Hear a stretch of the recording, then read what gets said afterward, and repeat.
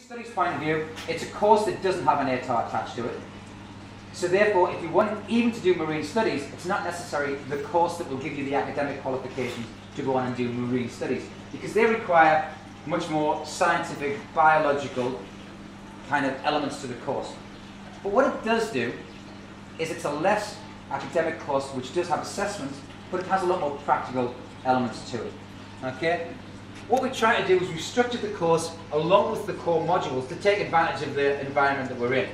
So the fact that we do have Cudgen Creek right next to us is one of the greatest resources I think this school has. The fact that we have a regular ocean environment that comes up towards the bridge, which is only a kilometre away, allows us to access all sorts of marine wildlife and marine creatures on our doorstep. We can go snorkeling for free two, three, four times a week, okay, for the first term in term one and even in term four. From a dive point of view, we also do the dive science course, which allows us to access some of the diving companies around here. We do, in year 11, we do the PADI course. So we go to the pool, we do two just acclimatization dives, okay? Then we go out to Cook Island for two days. Do two dives on the first day, two dives on the second day. This gives you your open water PADI course. Costs $395. It's normally around about 500 bucks to do okay? As a school group, we get it for under $400.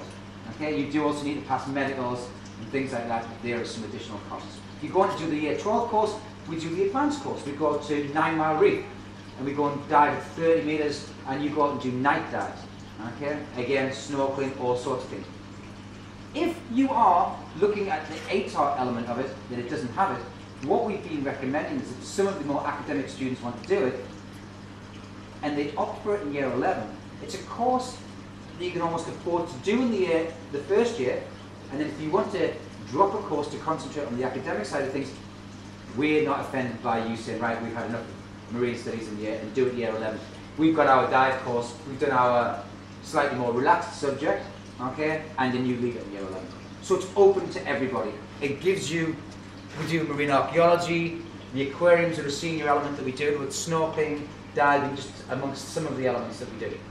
So that allows you to have a course, at least within your armory, that gives you some, some certificates or qualifications which aren't necessarily your academic ATAR stuff, but still is a course that allows you to have another module or, or is subject within your year 11. And if you feel that by the time you get to 12, it's not something that you want to do, then you can, you can drop it there. Okay?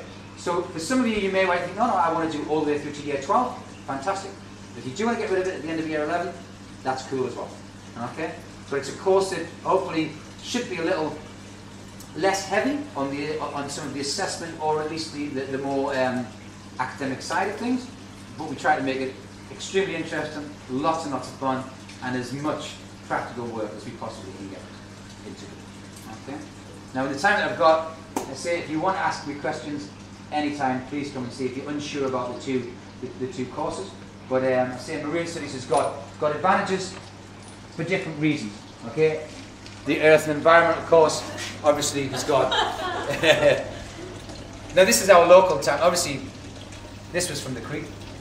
The lionfish is from. We have a, we have a license to be to take some creatures from from the creek. You need a license to get to take live things. All of the things except for the clownfish are from Cudgen Creek. Okay, including the lionfish. But we see turtles, dolphins in the creek before as well.